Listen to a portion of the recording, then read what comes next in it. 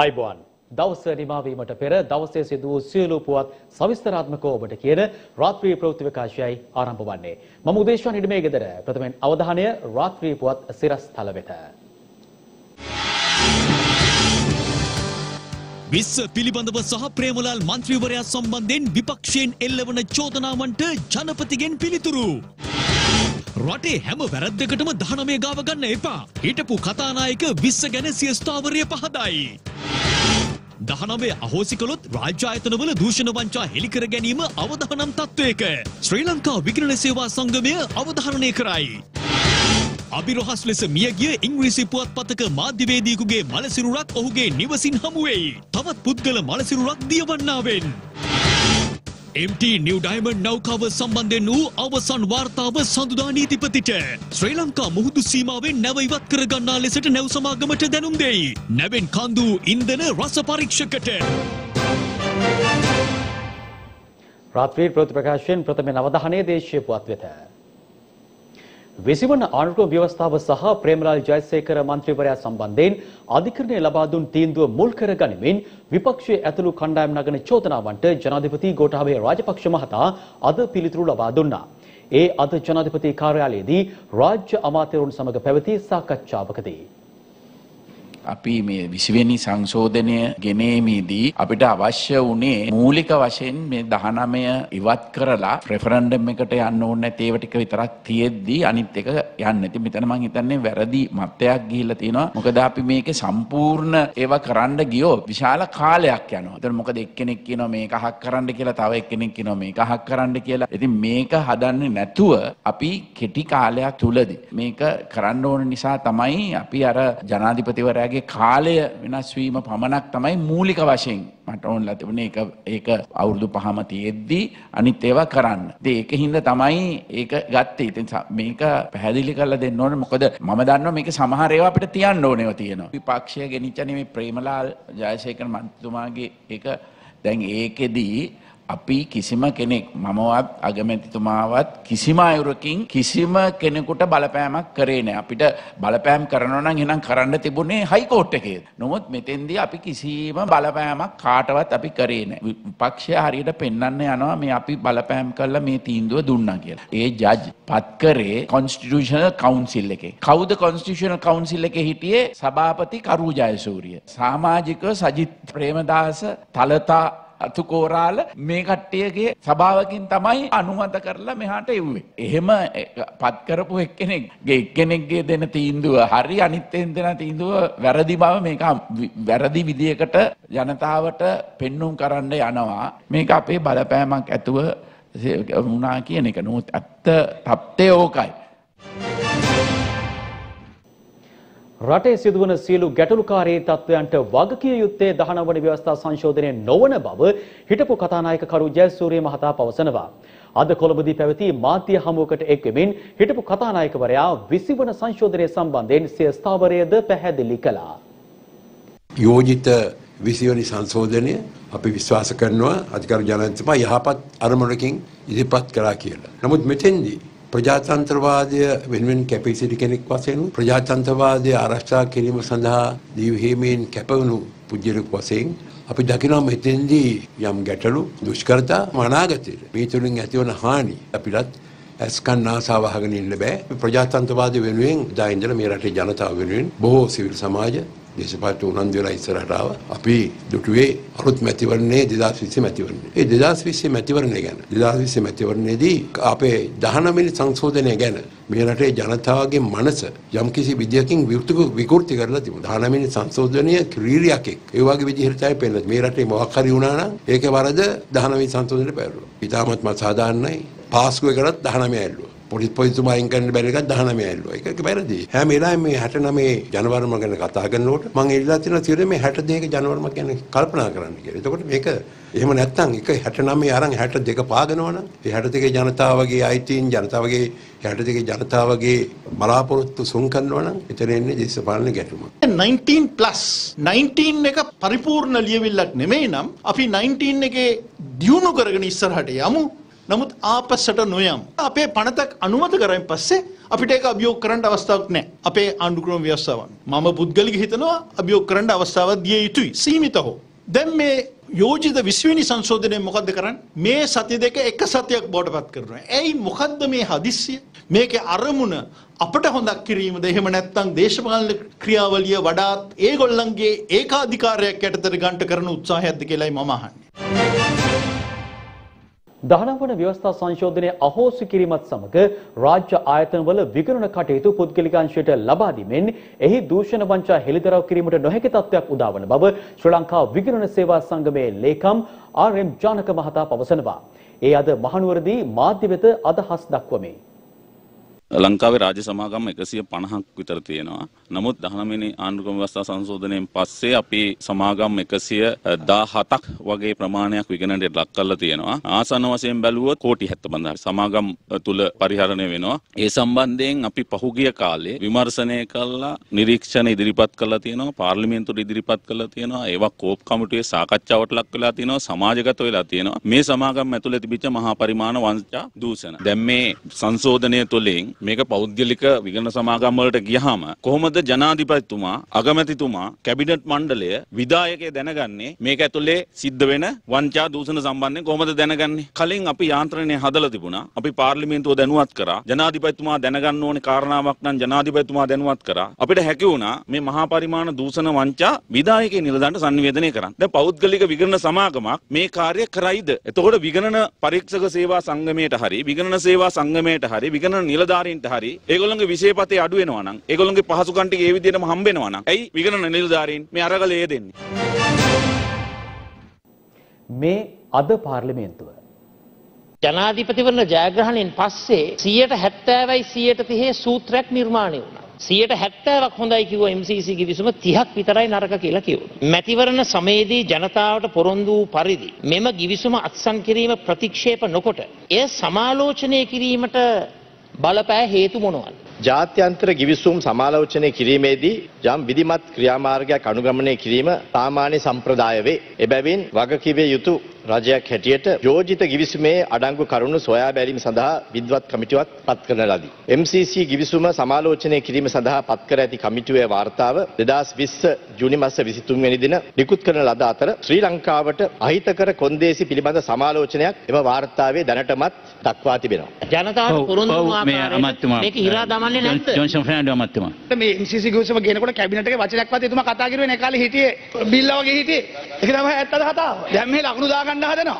එතුමා කොහොමද දන්නේ මම විරුද්ධ වුණාද නැද්ද කියලා? එතුමා කැබිනට් එකේ හිටියද? මම විරුද්ධ වුණා. හරි. මම විරුද්ධ වුණා. මේ පාර්ලිමේන්තුවේ විපක්ෂ නායකරුන්ට වැඩමුළුවක් කරන්න බැරිද කරු කතානායකතුමා. තමුන්නාන්සේලා මේ වෙලාවේ කරන්න ඕනේ මේ පාර්ලිමේන්තුවේ යකා නකර නෙවෙයි දෙකර නටන එක නෙවෙයි. දවස් 4 5ක් එන්න මම නාවල පිටිය හෝටලයක් බුක් කරලා දෙන්න කණ්ඩ බොන්න දෙන්නම්. ඇවිල්ලා තමුන්නාන්සේලා ස්වයං විවේචනයකට යන්න. ප්‍රේමලාල් ජයසේකර මහත්තයා පාර්ලිමේන්තුවට ආපු එකයි 19 වෙනි සංශෝධනය. මේ මේක තමයි මේගොල්ලන්ට තියෙන ලොකුම ප්‍රශ්න දෙක. මේ අපි රට බාර දෙද්දි තිබුණේ රාජ්‍ය ණය ප්‍රමාණය බිලියන 13000යි ඒ කියන්නේ කෝටි 13 ලක්ෂයයි දැන් ඒක කෝටි 14 ලක්ෂයටත් වඩා වැඩි වෙලා තියෙනවා තීන කියමනක් තියෙනවා කොස්ස අතින්ගෙන අතුගානට ඔබ ඉගෙන ගත යුතුය සුළම් පාරක් විත් දූවිලි ඉවතගෙන යාවියයි විශ්වාස කිරීම නිෂ්ඵලය කියලා. ඒ නිසා අපි හැමදාම වෙනත් රටවල ආධාර බලාපොරොත්තුවෙන් හිටියා. දැන් අපි අපේ රට ගොඩනැගීම සඳහා සියලු ජාතීන් එකත ඒකරාශි වෙලා මේ රට ගොඩනැගිය යුතුයි. මම විවෘතව අද මේ පාර්ලිමේන්තුවේ කියනවා. හැකිනම් ඔය කියන ඔක්කොම ආර්ථික ඔස්තාරලා එකතු වෙලා පුළුවන් නම් මේ ඉදිරි අවුරුදු දෙක 21 22 පුළුවන් නම් ණය ආපසු ගෙවීම පැහැර නොහැර කරගෙන යන්න කියලා අපි කියනවා. වෙන මොකුත් අපිට අවශ්‍ය නැහැ. හරනම් සිද්ධ වෙන්න ඕන වක්‍රබද ප්‍රමාණය අඩු වෙලා ඍජුබද ප්‍රමාණය වැඩි වෙන එක. ඒක තමයි සිදුවේ යුත්ත. නමුත් අවාසනාවකට පහුගිය ඉතිහාසයේ මේ ගෙවිච්ච මේ විවෘත ආර්ථිකයත් එක්ක ආපු ඉතිහාසය තුල මේකේ අනිත් පැත්තට කරකඩ වෙච්ච තමයි පේන්න තියෙන්නේ. එදා දහට ව්‍යවස්ථා සංශෝධනය ගෙනාපු ජනාධිපතිවරයා අගමැතිවරයා විදියට මෙතන ඉන්නවා. අර කැලේ මාරු කරාට කොටියාගේ පොල්ලි මාරු වෙන්නේ නැහැ වගේ අද 20 වෙනි සංශෝධනය ගේන්නෙත් ඒ ආණ්ඩුවෙම තමයි. පාර්ලිමේන්තු ප්‍රජාතන්ත්‍රවාදයක් නැහැ. අධිකරණයක් නැහැ. මේ කුළුණු තුන ඕනේ නැහැ. දැන් ගෝඨාභය රාජපක්ෂ මහත්තයා ඉන්නවා. තව අවුරුදු 10කින් 20කින් මොකෙක් ජනාධිපති වෙයිද කියලා අපි දන්නේ. ඔය ගෝත්‍රවාදයට කැමතිව තමයි ඔය කෑ ගහන්නේ පුරන්නේ. කාලය අවසන්. ඔය ගාත්‍රවාදයට කැමතිය සපත්තු ලුව කන බත් බැලකම් කරන අය තමයි පුරන්නේ කෑ ගන්න හිටගන්නේ. මොකද මට නන් ටික හොයන්න බෑ. තාම අලුත් නන් ටිකක් තියෙන්නේ. ඔය බත් බැලියෝ තමයි කෑ ගන්න. එදා කිව්වා රාජපක්ෂ රෙජිමේ කියලා. එදා කිව්වා පවුල් පාලනය කියලා. ඒවා මහජනයා తాවකාලිකව පිළි අරන් ඊට වඩා සුදුසු හොඳ පාලනයක් ඇති කරන්න පුළුවන් වෙයි කියලා හිතලා බලපෙරලියක් කරගත්ත 2015. අවුරුදු හතරමාරක් මේ රට කෑවා. පටන් ගත්තේ මහ බැංකුව මහදවල් හොරා කාලා. මෙතන කතා කරනවා පවුල් පාලනයක් ගැන. එතන තිබුණ අමුතු පාලනයක්. මේ රටේ කතෝලික දරුවන් මේ රටේ මිනිස්සු 300ක් මරා දානකම් බලන් හිටපු. මේ නිකම් පුස්සන්ගේ ආණ්ඩුවක් කරලා ඒ පුස්සන්ගේ ආණ්ඩුවේ හිටපු දේශපාලන පෙන්දෝ අද හැවිලා කතා කරනවා. ආයෙ අර පරණ වචන ටික සර කතාවක් මම හිතන්නේ කළා. එතුමාට ඒ නිසා පහුගිය කාල පරිච්ඡේදයේ පුරාවටම එතුමා ඒ නගපු හඬ ලොකු සද්දයක් ආවා. කියන හොඳ මස් කට්ටක් තමයි හම්බෙලා තියෙන්නේ. දැන් අපිට ප්‍රේමලාල් ජයසේකර මන්ත්‍රීතුමා පිළිබඳව අපිට කිසිම ගැටලුවක් නැහැ මගේ මිත්‍රයා. විශේෂයෙන් මරණීය දණ්ඩනය ලබලා රටේ නීති හදන තැන ඒ චෝදනා ලබලා දනුවම් ලබන කෙනෙක් සහ ඒ අයගෙන් සමන්විත වෙනවනම් ගරු. ගිරත් ගොයන් කනවනම් මොකක්ද ඒකේ තියෙන. භාවය කියන ගැන තමයි මම විශේෂයෙන් මම මෙතනදී ප්‍රශ්න කරන්න සිද්ධ වෙන්නේ. මරණීය දණ්ඩනය නියම වුණේ අධිකරණය ඒක මම පිළිගන්නවා. හැබැයි පැහැදිලිවම කියන්න ඕනේ මේ මරණීය දණ්ඩනය නියම වුණාට මේව පරීක්ෂණ කළේ එය අපි අත්අඩංගුවට අරගෙන යහපාලන ආණ්ඩුව කියන ආණ්ඩුව බලයට පත්වීමත් සමග අපෙන් පරිගන්න කුමන්ත්‍රණ කළා මම හිතන නීතිය නමලා තමයි ඒ වෙලාවේ කටයුතු කරේ. ඒ කටයුතු කරපු ආකාරයට මගේ ඒ හෘද සාක්ෂිය මම දන්නවා නිර්දෝෂී පුද්ගලෙක් කියන එක. ඉතින් කවුරු මොනවා කළා කුමන්ත්‍රණ කළා අපිව හිරගවල් වල දැම්මට මම පැහැදිලිව දන්නවා කවදා හරි දවසක මේක හෙළි වෙයි. පාර්ලිමේන්තු මන්ත්‍රී ප්‍රේමලාල් ජයසේකර මහතා මරණ දණ්ඩනයට යටත් කළද ඔහු අභ්‍යර්ථනයක් ඉදිරිපත් කර ඇති බැවින් ඔහුගේ දඬුවම ක්‍රියාත්මක නොවන බවත් ඔහුට පාර්ලිමේන්තුවට පැමිණීමේ කිසිදු බාධාවක් නොමැති බවත් රාජ්‍ය අමාත්‍ය වාසුදේව නානායක්කාර මහතා පවසනවා. මේ අතර පාර්ලිමේන්තු මන්ත්‍රී ෆීල්ඩ් මාර්ෂල් සරත් ෆොන්සේකා මහතා සඳහන් කරන්නේ තමාද අභ්‍යාචනයක් එකල ඉදිරිපත් කළ නමුත් තමාට එම අවස්ථාවේදී පාර්ලිමේන්තුවට පැමිණීමට එකල රජය විසින් අවස්ථාවක් ලබා නොදුන් බවයි. සහෝදර මන්ත්‍රීවරයෙක් වූ අපේ ප්‍රේමලා ජයසේකර මහතා පාර්ලිමේන්තුවට ඇවිත් දිවුරුම් දීම ගැන මේ ආණ්ඩුවට බයින. එතකොට අර ෆීල්ඩ් මාර්ෂල් නැගිටලා අහනවා එහෙනම් මාව හිරේ තිබ්බේ.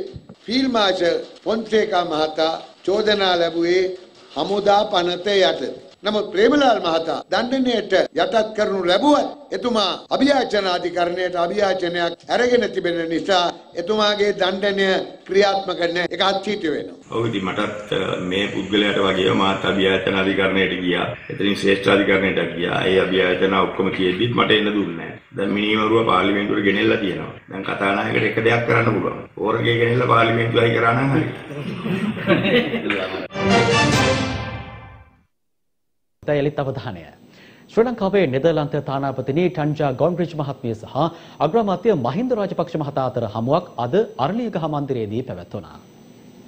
ශ්‍රී ලංකාවේ නෙදර්ලන්ත තානාපතිනි ටංචා ගොංග්‍රිච් මහත්මිය හා අග්‍රාමාත්‍ය මහින්ද රාජපක්ෂ මහතා අතර හමුවක් අද අරලියගහ මන්දිරයේදී පැවැත්වුණා. මහමැතිවරණයෙන් ලද ජයග්‍රහණය පිළිබඳව අග්‍රාමාත්‍ය මහින්ද රාජපක්ෂ මහතා හට සුබ පැතුම් එක්කල නෙදර්ලන්ත තානාපතිනිය කොවිඩ්-19 වසංගත තත්ත්වය පාලනය කිරීමට ශ්‍රී ලංකාව කටයුතු කළ ආකාරය පිළිබඳවද රජයට ප්‍රශංසා කළා. අනතුරට පත් MT නිව් ඩයමන්ඩ් තෙල් ප්‍රවාහන නෞකාවේ සිටි නෙදර්ලන්ත විශේෂඥයන් පිළිබඳව විමසූ අග්‍රාමාත්‍ය මහින්ද රාජපක්ෂ මහතා දෙරටේ සමුද්‍රීය විශේෂඥයන් අතර පුහුණු වැඩසටහනක් ක්‍රියාත්මක කිරීමේ වැදගත්කම පෙන්වා දුන්නා. ඒ අනුව ඓතිහාසික අත්දැකීම් බහුල නෙදර්ලන්ත සමුද්‍රීය විශේෂඥයන්ගේ දැනුම ශ්‍රී ලංකාවේ සමුද්‍රීය විශේෂඥයන්ට ලබා දීමට නෙදර්ලන්ත දූත පිරිස එකඟතාවය පළ කළා. රෝහල් සහ පාලම් තැනීම, වෘත්තීය පුහුණු සහ යාපනයේ දීර්ඝකාලීන ව්‍යාපෘතියක් ඇතුළුව ආරක්ෂිත පානීය ජලය සහ කලාපයට වඩා හොඳ වාරිමාර්ග සැපීම ඇතුළු ශ්‍රී ලංකාවේ තවත් ව්‍යාපෘති රැසකට නෙදර්ලන්තය මේ වන විට සහයෝගය දක්වනු ලබනවා. සේවා අංශ සහ ඒකාබද්ධ බහුභෝග කර්මාන්ත අතර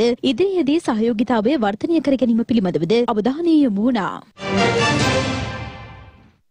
රාජ්‍ය ආයතනයන්හි මහජන දිනය සඳුදා දිනයට වෙනස් කිරීම සඳහා කැබිනට් අනුමැතිය හිමිව තිබෙනවා. අකණ්ඩව ආපු පුරුද්දක් හදිසියෙ වෙනස් කරගන්න වෙලා තියෙන්නේ. දින තියෙන්නේ තව අද අපි බ්‍රහස්පතින්ද ඉන්නේ. දවස් කිහිපයි තියෙන්නේ. නිසා රටේ ජනතාව දැනුම්වත් කරන්න මේ කාරණේ ගැන මින් ඉදිරියට ලබන සතියේ සිටම සඳුදා දිනය තමයි මහජන දිනය වෙන්නේ. ඒතකොට ඇමතිවරුන්ටත් ඇමති මණ්ඩල රැස්වීම යනාදි වශයෙන් ප්‍රකාශ කරලා නැගිටින්න වෙන්නෙත් නැහැ. විශේෂයෙන් ඇමති මණ්ඩලයට ඇමතිවරු පැමිණෙන්නේ මහජන දිනයක මිනිසුන් 200ක් මේ අය හමු වෙලා අතිශයම වෙහෙසකාරී ඇවිල්ලා ජාතියේ වැදගත්ම තීන්දුව ටික ගන්න වාඩි වෙන්නේ. මේ සියල්ල සලකා බලලා බදාදා උදෑසන ඇමති මණ්ඩල රැස්වීම පවත්වන්නටත් ඒ වගේම මහජන දිනය සෞන්දර්ය දිනය පවත්වන්න තියෙන එකල ඒ වගේම මහජන දිනයේ දවසේ වෙනත් රැස්වීම් සම්මුඛ ස- පරීක්ෂණ කිසිවක් පැවැත්වීම නිලධාරීන්ට තහනම් වෙනවා මහජන දිනයේදී ඇමතිවරුන් වගේම සියලුම නිලධාරීන් තමන්ගේ කාර්යාලයේ රැඳී සිටිය යුතු බවට අ, ජනාධිපතිතුමාගේ ලේකම්වරයා විසින් චක්‍රලේඛයක් ඉදිරියේදී නිකුත් කිරීමට නියමිතයි. වසර ගණනාවක් පුරාවට අත්හර දමා තිබුණු තෙල් සහ ගෑස් ගවේෂණය යලි ආරම්භ කරන්න ආණ්ඩුව ප්‍රතිපත්ති තීන්දුවක් කරන් තියෙන යනවා පසුගිය සතියේ අපි දැනුම් දුන්නා ස්වාභාවික වායු පිළිබඳ ප්‍රතිපත්තියක් හැදුවා ඒක ආයෝජකයන් ආකර්ෂණය කර ගැනීමට අත්‍යවශ්‍ය කාරණයක් වෙලා තිබුණා පාස්කු ප්‍රහාරය පිළිබඳ සොයා බැලීමේ විමර්ශන කටයුතු වත්මන් ආණ්ඩුව කඩිනමින් සිදු කළ යුතු බව පාර්ලිමේන්තු මන්ත්‍රී කාවිද ජයවර්ධන මහතා පවසනවා.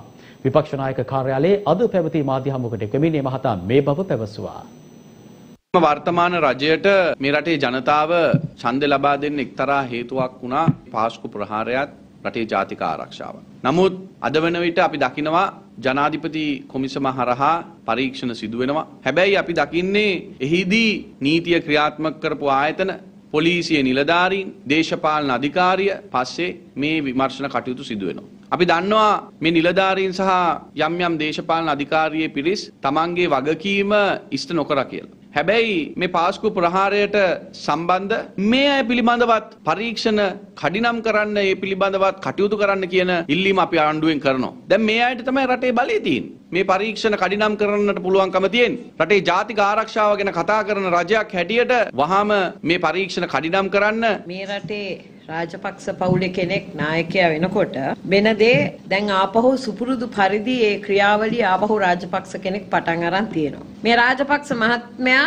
අනිත් රාජපක්ෂවරුන්ට වැඩිය වෙනස් කියලා තමයි 69 ලක්ෂයක් එතුමා කෙරෙහි විශ්වාසය තිබ්බේ. අද වියත් මගේ වියතුන් පාර්ලිමේන්තුවට එනවා අපි දැක්කේ නෑ. හැබැයි අපි දැකලා තියෙනවා මරණීය දණ්ඩනයට නියම වෙච්ච මිනිමරුවන් පාර්ලිමේන්තුවට ගේන්න මේ රාජපක්ෂ මහත්තයා සමත් වෙලා තියෙනවා. තාම 20 වෙනි සංශෝධනය ඇවිල්ලා නැහෙනි. ජනාධිපතිවරයා අගමැතිවරයා සහ රජයට උපදෙස් දෙන නීතිපතිවරයා පහුගිය දවස්වල උපදෙස් දුන්නා මරණීය දණ්ඩනය නියම වෙච්ච කෙනෙක් පාර්ලිමේන්තුවට ගේන්න බැහැ කියලා. දැන් මේ පෞල් පාලන පනත ගේණ්ඩත් ඉස්සෙල්ලා පවුලේ බලය ලබාගෙන ව්‍යවස්ථාව උල්ලංඝනය කරලා තියෙනවා. නීතිපතිවරයා දීලා තියෙන උපදෙස් වලට පිටින් മന്ത്രിවරයෙකුට විය යුතු පුද්ගලයෙකුට තිබිච්ච සුදුසුකම් ඔක්කොම පැත්තක තියලා අද ලෝකේ ආපහු වාර්තාවක් තියලා මරණීය දණ්ඩනය නියම වෙච්ච කෙනෙක් මේ රටේ පාර්ලිමේන්තුවේ දියුරුම් දෙන තත්වයකට පත් කරා. මෙරට ඉංග්‍රීසි පුවත්පත් මාධ්‍යවේදියෙකු ඔහු පදිංචිව සිටි නිවසේම අපිරහස් ලෙස මිය ගොස් තිබෙනවා. ඔහු සියදිවි නසාගත්තාද එසේත් නොතෙන් නොමැති නම් ඔහු ඝාතනය කරාද යන්න පිළිබඳව මේ වන විට පොලිසිය පුළුල් විමර්ශන ආරම්භ කර තිබෙනවා. ඊයේ පස්වරුවේ එකයි එකයි නමය පොලිස් හදිසි ඇමුතු මේකකයට ලද පණිවිඩයක් මත තලංගම පොලිස් වසමේ අංක එක්දස් අසූ හතර ජේ පීරිස් මාවත කුමාරගේ වත්ත තලංගම දකුණ ලිපිනේ පිහිටි නිවසක පුද්ගලයෙකුගේ මෘත ශරීරයක් තිබෙන බවට තොරතුරක් මත තලංගම පොලිසිය විමර්ශන ආරම්භ කරනු ලැබුවා.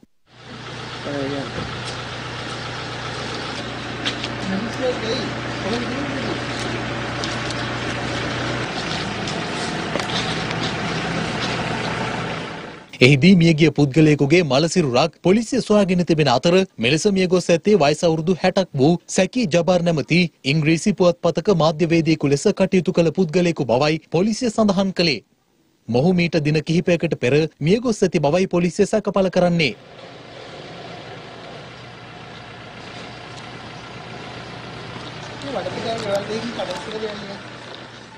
මියගිය සැකී ජබාර් නැමති පුවත්පත් මාධ්‍යවේදයා සතියක පමණ කාලයක සිට එම පුවත්පතේ රාජකාරී සඳහා නොපැමිණීම හේතුවෙන් ඒ සම්බන්ධයෙන් එම පුවත්පත් මාධ්‍ය ආයතනය විසින් ඔහුගේ සහෝදරයෙකු හට ඔහු රාජකාරියට නොපැමිණි බව දැනුම් දී තිබුණා. ඒ අනුව ඊයේ දින සහෝදරයා විසින් එම මාධ්‍යවේදයා පදිංචිව සිටි නිවස පරීක්ෂා කිරීමේදී නිවසේ කාමරයේ බිම තිබී මාධ්‍යවේදයාගේ මෘත ශරීරය සොයාගෙන තිබෙනවා. මියගිය මාධ්‍යවේදයා මෙම නිවසේ තනිවම ජීවත්ව සිට ඇති අතර මෙම පුද්ගලයා මියගියේ ඝාතනයකින්ද එසේ නොමැතිනම් සියදිවි හානි කර ගැනීමකින්ද යන්න විමර්ශන ක්‍රියාත්මකයි. මෘත ශරීරය සම්බන්ධයෙන් කඩුවෙල වැඩබලන මහේස්ත්‍රාත්වරයා විසින් මහේස්ත්‍රාත් පරීක්ෂණයක්ද සිදු කර ඇති අතර තලංගම පොලිසිය විසින් වැඩිදුර විමර්ශන සිදු කරනවා. මේ අතර වැලිකඩ පොලිස් වසමේ පොල්දුව පාලමසල දියවන්නා ඔයේ පිරිමි පුද්ගලයෙකුගේ මෘත ශරීරයක් තිබෙන බවට ලද තොරතුරක් මත වැලිකඩ පොලිසිය අද දින විමර්ශන ආරම්භ කළා. මෘත ශරීරය ඥාතීන් විසින් හඳුනාගෙන ඇති අතර මියගිය පුද්ගලයා වයස අවුරුදු 74ක් වූ හෝකන්දර ප්‍රදේශයේ පදිංචිකරුවෙක්. ඔහු පසුගියදා ඥාතීන්ට නොදන්වා පිටව ගොස් ඇති බව මියගිය පුද්ගලයාගේ පුත්‍රයා විසින් එදිනම අලුයම තලංගම පොලිස් ස්ථානයට පැමිණිල්ලක්ද සිදු කර තිබෙනවා. මෘත ශරීරය සම්බන්ධයෙන් මහේස්ත්‍රාත් පරීක්ෂණයක් අද පැවැත්වූ අතර වැලිකඩ පොලිසිය විසින් වැඩිදුර විමර්ශන සිදු කරනවා. නිව් ඩයිමන්ඩ් නෞකාවේ නිරීක්ෂණ කටයුතු සඳහා නාවික හමුදාවේ සාමාජිකින් සිව් දෙනෙකු සහ විදේශයන්හි සිට පැමිණි නියෝජිතින් 17 දෙනෙකු අදාළ නෞකාව තුළට ඇතුළු වී තිබෙනවා.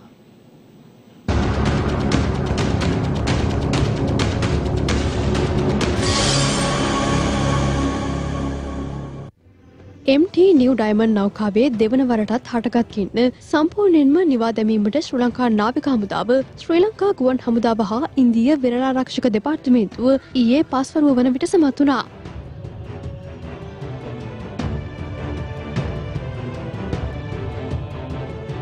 ඊයේ දිනවල මිට ශ්‍රී ලංකාවට නාවික සැතපුම් 41ක් තුරින් ගැඹුරු මුහුදේ වූ අදාළ නෞකාව මේ වන විට නාවික සැතපුම් 50 දක්වා වූ ගැඹුරු මුහුද වෙත ටංකියාස්ත්‍රා යොදා ගනිමින් ඇදගෙන යාමට නාවික හමුදාව සමත් වූ බවයි නාවික හමුදා මාධ්‍ය ප්‍රකාශක කපිතාන් ඉන්දික ද සිල්වා මහතා අප කළ විමසීමකදී සඳහන් කළේ. ඊයේ දින ප්‍රථම වරට අදාළ නෞකාවේ ගැලවුම්කාර සමාගමේ සම්මාජිකින් තිදෙනෙකු නෞකාව තුළට ඇතුළු වී නිරීක්ෂණ කටයුතු සිදු කළා. එසේම ශ්‍රී ලංකානු නාවික හමුදා සාමාජිකින් සිව් දෙනෙකු හා විදේශයන්හි සිට පැමිණි නිරීක්ෂකින් දහත් දෙනෙකුද අද දින නෞකාව තුළට ඇතුළු වී නිරීක්ෂණ කටයුතු සිදු කළ බවයි නාවික හමුදා මාධ්‍ය ප්‍රකාශකවරයා වැඩිදුරටත් සඳහන් කළේ.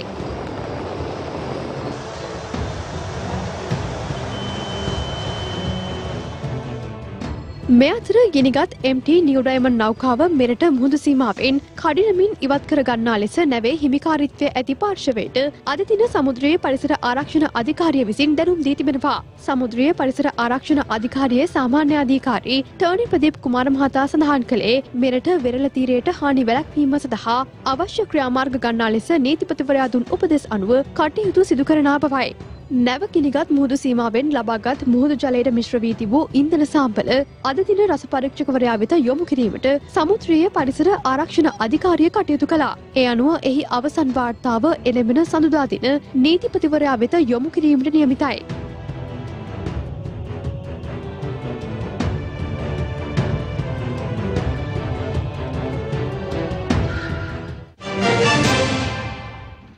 දෙවෙනි පුරා ක්‍රියාත්මක අපරාධ සහ මද්ද්‍රව්‍ය මැඩලීමේ මෙහෙයුම් පිළිබඳවයි දැන් තොරතුරු.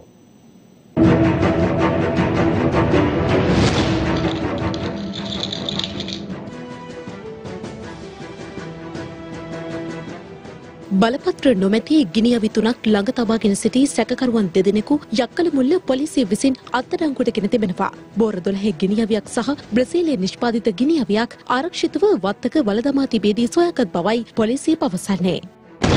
දික්වැල්ල බෝදරකන්ද ප්‍රදේශයේ නිවසක් පරීක්ෂා කිරීමේදී නිවසේ සඟවා තිබූ බෝර 12 ගිනියවියක් එම ගිනියවියට යොදන උණ්ඩ 27ක් T56 උණ්ඩ 6ක් ගල්කටස් එකක් ටීකටස් එකක් කඩු දෙකක් සහ රම්බෝ පිහියක් සොයා ගැනීමට දික්වැල්ල පොලිසිය පොලිස් නිලධාරීන් සමත් වී තිබෙනවා. මෙම ගිනියවි සමග එම නිවසේ පදිංචිව සිටි පුද්ගලයන් තිදෙනෙකුද සැකපිට අත්අඩංගුවට ගෙන ඇති අතර මෙම ගිනියවි කුමන අපරාධයක් සඳහා භාවිතා කළේද යන්න පිළිබඳව වැඩිදුර පරීක්ෂණ ක්‍රියාත්මකයි. අවිස්සාවෙල්ල පොලිසියට ලැබුණු තොරතුරක් මත අවිස්සාවෙල්ල යටියන්තොට රුවන්වැල්ල ප්‍රදේශවලදී විදෙස් රටවල නිෂ්පාදිත ගෙනියවි හතරක් කඩු හයක් සහ කිනිස්සක් සමග සැකකරුවන් අට දෙනෙකු අත්අඩංගුවටගෙන තිබෙනවා. මංකොල්ල කැම්ප් සහ ජාවාරම් සඳහා මෙම අවි ආයුධ යොදාගත්තාදැයි සැකපිට අවිස්සාවෙල්ල පොලිසිය පරීක්ෂණ පවත්වනු ලබනවා. ගල්ල ඉමදුව පොලිස් ස්ථානයේ නිලධාරින්ට ලද තොරතුරක් මත සිදු කරන ලද වැටලීමකදී දැනට බන්ධනාගාරගතව සිටින සමන්ත කුමාර හෙවත් වෙලිසුදාගේ ඥාතියෙකු ඇතුළු සැකකරුවන් තිදෙනෙකු හෙරොයින් සමග අත්අඩංගුවට ගෙන තිබෙනවා. අත්අඩංගුවටගත් සැකකරුවන් සන්තකයේ තිබේ හෙරොයින් ග්‍රෑම් 1 මිලිග්‍රෑම් 300ක් මුදලින් රුපියල් 37500ක් ජංගම දුරකථන හතරක් සහ ගනුදෙනු සිදු කළ බවට සැක කරන බැංකු පොතක්ද පොලිසිය සිය බහරයට ගෙන තිබෙනවා.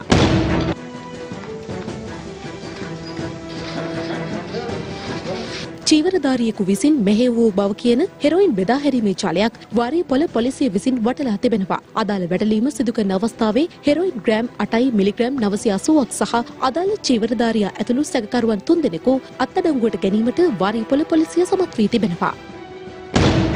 මහනුවර පොලිසියේ දූෂණ මර්දන අංශය විසින් කේරළ ගංජා ග්‍රෑම් 25ක් සහ හෙරොයින් මිලිග්‍රෑම් 750ක් සන්තකයේ තබාගෙන සිටි මැදිරිගිරිය ප්‍රදේශයේ පුද්ගලයෙකු මහනුවර නගරයේ සැරිසරමින් සිටියේදී අත්අඩංගුවට ගෙන තිබෙනවා. මේ අතර චීනා නම් අන්වර්ථ නාමයෙන් හැඳින්වෙන තවත් සැකකරුවෙකු මහනුවර රෝහල් පටුමගේදී හෙරොයින් ග්‍රෑම් 13ක් සමග අත්අඩංගුවට ගැනීමට මහනුවර පොලිසිය සමත් වී තිබෙනවා. පැකට් එදහස් දෙකක ඇසුරුම් කර තිබූ මත්ගුලි කිලෝග්‍රෑම් දහයක් සැකකරුවෙකු සමග අත්අඩංගුවට ගැනීමට මාවතගම පොලිසිය සමත් වී තිබෙනවා. මාවතගම පොලිසිය ස්ථානාධිපතිවරයාට ලද තොරතුරක් මත සිදු කරන ලද වැටලීමකදී මෙම සැකකරු අදාළ මත්ගුලි තොගය සමග අත්අඩංගුවට ගෙන තිබෙනවා. වැඩිදුර ප්‍රශ්න කිරීම්වලදී අනාවරණය වී ඇත්තේ අදාළ මත්ගුලි තොගය හසලක සිට මාවතගම වෙත ප්‍රවාහනය කර පාසල් ළමුන් වෙත අලෙවි කිරීමට සැලසුම් කර ඇති බවයි.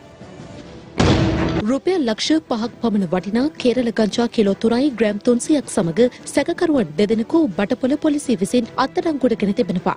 යතුරු පැදියෙන් ගමන් කළ සැකකරුවන් දෙදෙනා ළඟ තිබී ගංජා කොටසක් සොයාගෙන ඇති අතර අත්අඩංගුවටගත් සැකකරුගේ නිවස පරීක්ෂා කිරීමේදී තවත් ගංජා තොගයක් සොයාගෙන තිබෙනවා. මහමාන් කඩවල තලාවැල ප්‍රදේශයේ කලකපටන් සිදු කරගෙන ගිය රහසිගත නීති විරෝධී මත්පැන් ජාවාරමක් වටලා එක් සැකකරුවෙකු අත්අඩංගුවට ගැනීමට අනුරාධපුර පොලිසිය සමත් වී තිබෙනවා. සිදු කරන ලද මෙම වැටලීමේදී ගෝඩා බෝතල් 532ක් අඩංගු බැරල් දෙකක් ඇතුළු අදාළ නීති විරෝධී මත්පැන් නිෂ්පාදනයට යොදාගත් උපකරණ තොගයක්ද අත්අඩංගුවට ගෙන තිබෙනවා. දක්ෂිණ අධිවේගී මාර්ගයේ මත්තල පිවිසුම අසල පොලිස් නිලසුනකයෙකු යොදා ගනිමින් ලුණුගම් වෙහෙර පොලිස් නිලධාරීන් විසින් සිදු කළ විශේෂ සෝදිසි මෙහෙයුමකදී තහනම් කෘමිනාශක වර්ගයක් වන ග්ලයිෆොසෙට් ග්‍රෑම් 100ක් බැගින් වූ පැකට් දහසක් සහ කාබෝපියුරාන් නැමැති කෘෂි රසායනය අඩංගු කිලෝ එකේ පැකට් දහසක් ප්‍රවාහනය කරමින් සිටි සැකකරුවන් දෙදෙනෙකු ප්‍රවාහනයට යොදාගත් ලොරි රථයක්ද සමග අත්අඩංගුවට ගැනීමට සමත් වී තිබෙනවා. පෞද්ගලික ආයතනවලට වංචා කර භාණ්ඩ ඔන්ලයින් ක්‍රමයට ගෙන්වාගෙන සිදු කරන ලද මහා පරිමාණ ජවාරමක් වැටලීමට කොටුව පොලිසිය සමත් වී තිබෙනවා. මෙලෙස වංචා කළ මහා පරිමාණ ගණතිනු අතර ඡායා පිටපත් මුද්‍රණ කඩදාසි ඇසුරුම් 2500ක් සහ තවත් උපකරණ තොගයක් සමග සැකකරුවෙකු අත්අඩංගුවට ගෙන ඇති අතර අදාළ භාණ්ඩ තොගේ වටිනාකම රුපියල් ලක්ෂ 22ක් පමණ වන බවයි පොලිසිය පවසන්නේ. මෙලෙස ඔන්ලයින් ක්‍රමයට සිදුවන මහා පරිමාණ ජාවාරම් රැසකට අදාළව කරුණු රැසක් අනාවරණය කරගෙන ඇති බව කොටුව පොලිසිය පවසනවා. මේ අතර හෙරොයින් මත්කුඩු ග්‍රෑම් විසි නවයයි දශම හතයි එකක් සන්තකයේ තබාගෙන ජාවරම් කිරීමේ චෝදනාවට වරදකරු කෙරුණු විසි අටහැවරිදි විත්තිකරුවෙකුට අද කොළඹ මහධිකරණය විසින් මරණීය දණ්ඩනය නියම කළා. දීර්ඝ නඩු විභාගයකින් පසුව තේන්දුව ප්‍රකාශයට පත් කළ කොළඹ මහධිකරණ විනිසුරු ගිහන් කුලතුංග මහතා විත්තිකරුට එරෙහිව පැමිණිල්ල විසින් එල්ල කර තිබූ හෙරොයින් මත්කුඩු සන්තකයේ තබා ගැනීම සහ ජාවරම් කිරීම යන චෝදනා සාධාරණ සැකකින් තොරව ඔප්පු වී තිබෙන බවට තේන්දු කළා. ඒ අනුව විත්තිකරුට මරණීය දණ්ඩනය නියම කරන බවද විනිසුරුවරයා සිය තීන්දුවේ සටහන් කර සිටියා. එම පොතත් සමගින් අප සමුගන්නා ඔබෙන් රාත්‍රී ප්‍රතිප්‍රකාශයෙන් හෙට උදෑසන 6ට යලි හමු වෙමු උදෑසන ප්‍රතිප්‍රකාශයෙන්. සුබ රාත්‍රියක්. දිනපතා අලුත් වීඩියෝ සහ ප්‍රවෘත්ති නැරඹීමට ඉහත බටන් එක ක්ලික් කර සියත TV සබස්ක්‍රයිබ් කරන්න.